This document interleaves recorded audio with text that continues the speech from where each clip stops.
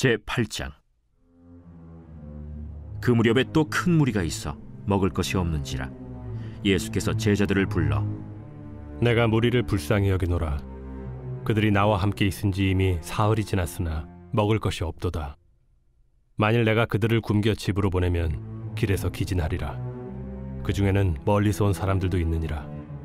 이 광야 어디서 떡을 얻어 이 사람들로 배부르게 할 수 있으리이까?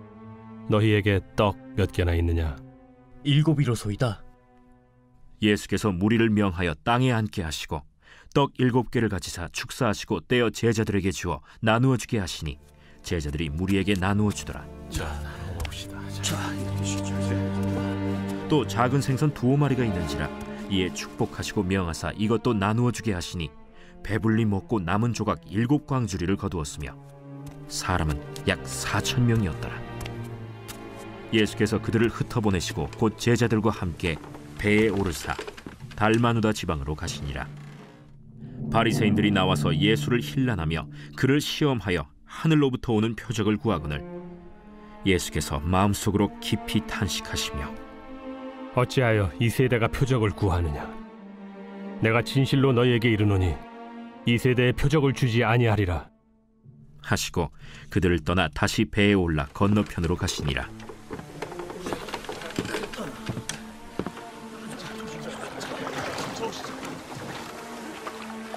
제자들이 떡 가져오기를 잊었음에 배에 떡 한 개밖에 그들에게 없더라. 예수께서 경고하여 이르시되 삼가 바리새인들의 누룩과 헤롯의 누룩을 주의하라. 이는 우리에게 떡이 없음이로다. 너희가 어찌 떡이 없음으로 수군거리느냐? 아직도 알지 못하며 깨닫지 못하느냐? 너희 마음이 둔하냐?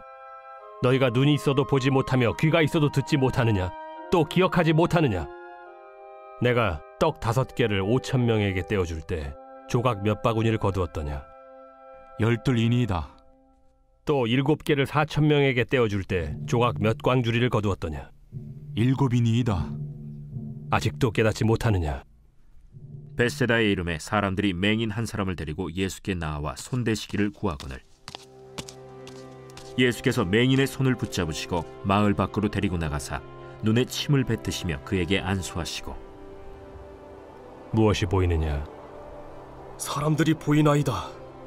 나무 같은 것들이 걸어가는 것을 보나이다. 이에 그 눈에 다시 안수하심에 그가 주목하여 보더니 나아서 모든 것을 밝히 보는지라 예수께서 그 사람을 집으로 보내시며 마을에는 들어가지 말라. 하시니라 예수와 제자들이 빌립보 가이사랴 여러 마을로 나가실새 길에서 제자들에게 물어 사람들이 나를 누구라고 하느냐? 세례 요한이라 하고 더러는 엘리야 더러는 선지자 중에 하나라 하나이다. 너희는 나를 누구라 하느냐? 베드로가 대답하여 이르되 주는 그리스도시니이다. 이에 자기의 일을 아무에게도 말하지 말라 경고하시고 인자가 많은 고난을 받고 장로들과 대제사장들과 서기관들에게 버림받아 죽임을 당하고 사흘 만에 살아나야 할 것을 비로소 그들에게 가르치시되 드러내놓고 이 말씀을 하시니 베드로가 예수를 붙들고 항변하매 예수께서 돌이키사 제자들을 보시며 베드로를 꾸짖어 사탄아, 내 뒤로 물러가라. 내가 하나님의 일을 생각하지 아니하고 도리어 사람의 일을 생각하는도다. 무리와 제자들을 불러 이르시되 누구든지 나를 따라오려거든 자기를 부인하고 자기 십자가를 지고 나를 따를 것이니라. 누구든지 자기 목숨을 구원하고자 하면 잃을 것이요. 누구든지 나와 복음을 위하여 자기 목숨을 잃으면 구원하리라. 사람이 만일 온 천하를 얻고도 자기 목숨을 잃으면 무엇이 유익하리요? 사람이 무엇을 주고 자기 목숨과 바꾸겠느냐?